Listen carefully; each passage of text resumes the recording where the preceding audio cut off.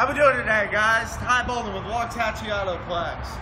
If you're looking for a nice convertible, you know, right there at the end of the summer sale event, come on down and check it out. We got the silver 2014 convertible Mustang, 28,000 miles on it. This thing is pretty sweet, pretty sweet.